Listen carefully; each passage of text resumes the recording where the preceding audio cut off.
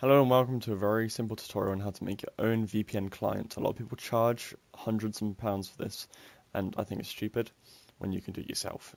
And it's so simple, it's unbelievable and I think a lot of people understand this. To make your own installer, I will make a video on it if you want me to. It's completely up to you, but currently I'm just going to tell you how to set it up so it connects to your OpenVPN config that you supply it. And obviously you can then change it yourself to add your own authorization, and stuff like that. So we'll start off with this VPN website. This is my friend's company. It's really cool. You should check it out if you want to. But we're using it purposely because it enters the last two of my IP. So you see 80.42. So that's the range I am in currently. So you open up this, and I'll just show you the form.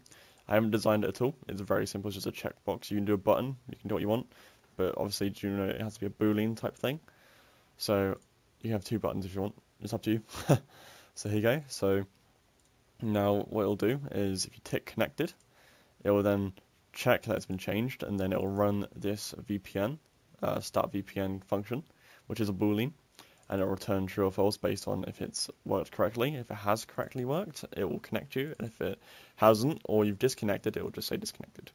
So you go to the uh, function, uh, it tries, it does a try catch to stop any, you know, errors, shit like that. So it'll start a process and it will just start the OpenVPN process, which is located in program files, and then it will connect to a config, which is next to the bin, which you'll see here. There you go. So there's my bin, and there's my config. So you'll set as run as because it has to be administrator, or OpenVPN needs to be run as administrator to actually connect. It's just a known fact. That's why most VPNs will not work on school networks because you have to have admin.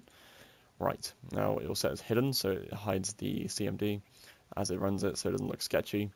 So it will check if the checkbox one has actually been ticked, and if it has, it will start the process and then return true. Otherwise, it will just end the process tree of OpenVPN, because that's what it does, it opens up OpenVPN with this argument connecting you, and it will just kill it and the process tree, so any other sub uh, processes like OpenVPN daemon, and then, or daemon, sorry, it will return false, and then if it catches an error, it'll just return false anyway. And that's where it comes connected and disconnected. Show you it working. We'll start it. Obviously, again, it has to be run as administrator. This is why Visual Studio is being run as administrator as we speak. So if we just open up here, open up this, and we just tick, just hit it, there go, connected. Okay, now wait a second, just for it to connect, and then we'll refresh. If it wants to load, here we go, still connecting, there you go. Now it's connected, it will start doing a Cloudflare check. That is the website, just checking that I'm not a bot. So here, 89.190, previous to my other range. Now just check that it does disconnect, just to prove it to you. We will uncheck it, it will say disconnected, click OK, and then we will refresh, and it will say just a moment, Cloudflare still verifying that I'm a bot because we've just changed IP addresses. And there you go, 80.42. So that's it. Just forgot to mention that this source code will be in the description. Um, however, what it will be is it's hard to explain. You have to go to a link and then it'll ask you to subscribe to my channel and like the video. This is not necessarily what I want to be doing, however, it will encourage people who download it to show their support, which I'm happy with. I want people who are subscribed to this channel to use my software and to view my tutorials, but I only want my subscribed people and people who enjoy my content to use my or my content and my my produce, I guess I could call it. Um, so yeah, that's why I've done that. Um, it will come up as a virus most of the time, depending.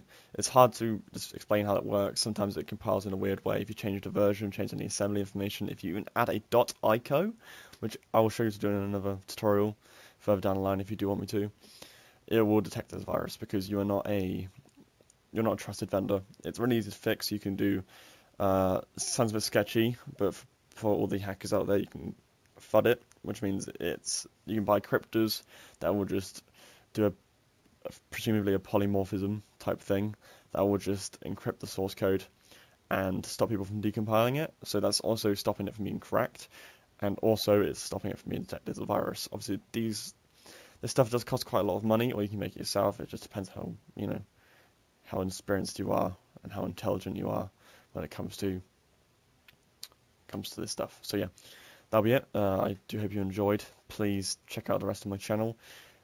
I am trying to get watch time up right now so I can monetize my videos to make money from these sort of tutorials, which I'm going out my way doing. I'll do a further series if you guys really want me to. And yeah, that'll be it. Okay, thanks.